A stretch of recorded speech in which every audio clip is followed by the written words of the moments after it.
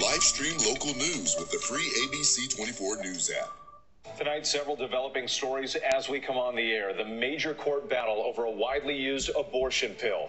Conflicting court rulings in two different states. One federal judge in Texas suspending FDA approval for a pill that's used in more than half of all abortions. Another judge in Washington state keeping its access status quo.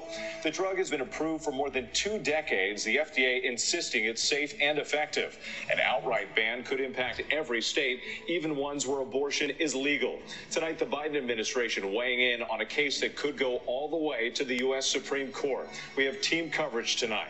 The Justice Department launching a probe into the leak of dozens of classified documents, reportedly exposing U.S. secrets from the war in Ukraine to China to Iran and North Korea.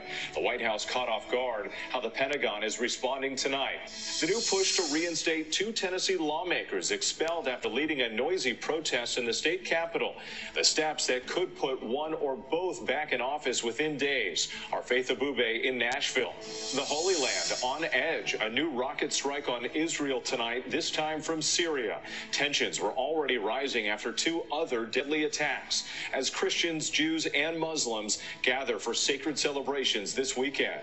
Panic on a popular beach. Teenagers running for cover as gunfire breaks out on senior skip day. Six people shot, what police are now saying after detaining multiple suspects. Drenching rain in the south, forcing another delay at the Masters as a new storm moves into the west. Rob Marciano standing by with your holiday weekend forecast. China ramping up its military drills, fighter jets streaking towards Taiwan just days after Taiwan's president met with House Speaker McCarthy in California. And America Strong tonight, a cancer survivor returns to the same hospital where she was treated as a child, this time as a doctor.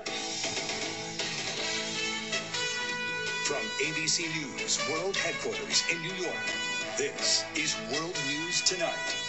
Good evening. Thanks for joining us on this Saturday. I'm Whit Johnson. We begin tonight with the battle lines being drawn over the traditional Good Friday Way of the Cross procession in Rome the first pope to do so since an ailing John Paul II did back in 2005. There's still much more ahead on World News Tonight this Saturday, including a wild police chase and a surprise that no one saw coming, and the frightening scene when gunfire erupted on a crowded beach. Stay with us attempted murder. At some point, police said someone tossed a designer bag out a window, and inside was that puppy, amazingly unharmed and now in the care of animal services. Authorities say the investigation continues.